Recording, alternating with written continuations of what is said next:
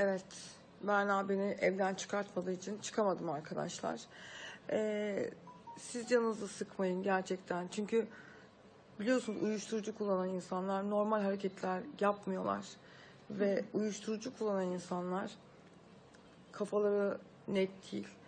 Ben e, 15 yıl önce falan annemin evinin iskelesinde bikini izi çıkmasın diye kafamda mandalla güneşlenirken uzaktan çekilen bir fotoğrafı e, insanlar e, bulup yayınladıkları zaman ne kendi hayatlarının iğrençliklerini kapatabiliyorlar ne de başarısızlıklarını kapatabiliyorlar. O yüzden e, umursamayın.